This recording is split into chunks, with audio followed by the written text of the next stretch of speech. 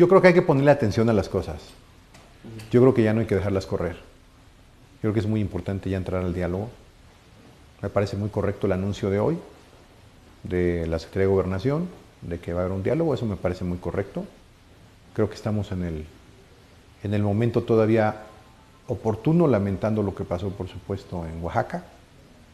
Y yo espero que eso no suceda en Guerrero. Eh, yo espero que no suceda en Guerrero porque eh, creo que Guerrero tiene todavía heridas muy serias y muy latentes de lo que pasó en el 2014 con los 43 desaparecidos.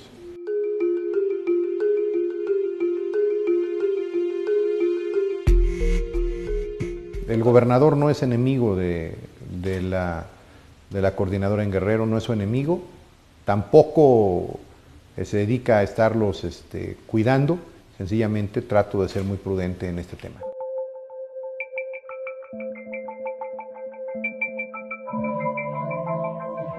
Bueno, primero, te quiero decir que yo he sido sumamente responsable en el tema, ¿no?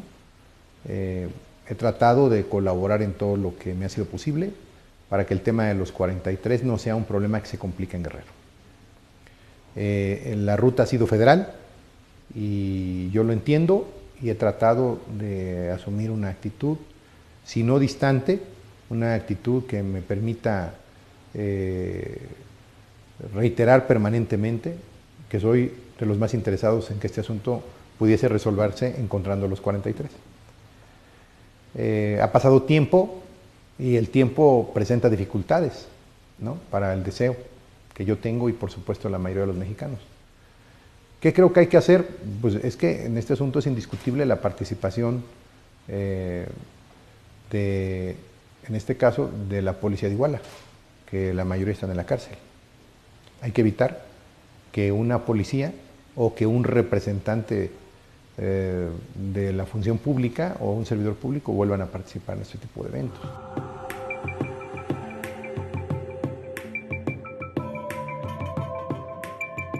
Bueno, han sido nueve meses intensos, complejos, nada ajeno a lo que me imaginé que sería o lo que observé que podría ser.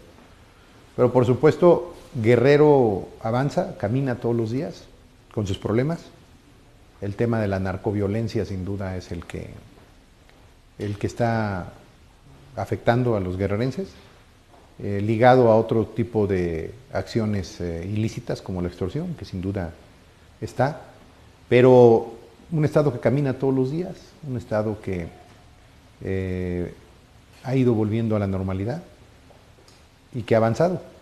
Creo que la gobernabilidad está, Mm, a veces quisiera que estuviera más, pero hay asuntos como el, tema de la reforma educativa, que ha generado una serie de movimientos con los maestros.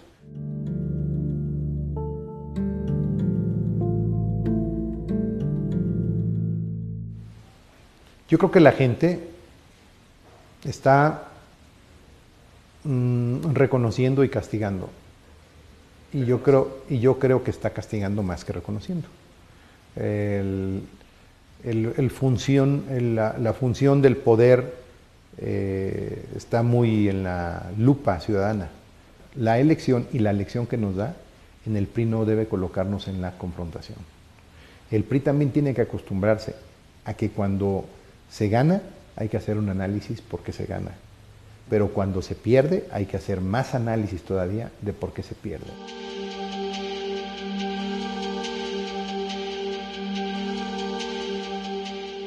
Es una decisión muy personal, una decisión muy honesta de su parte, pero al final de cuentas no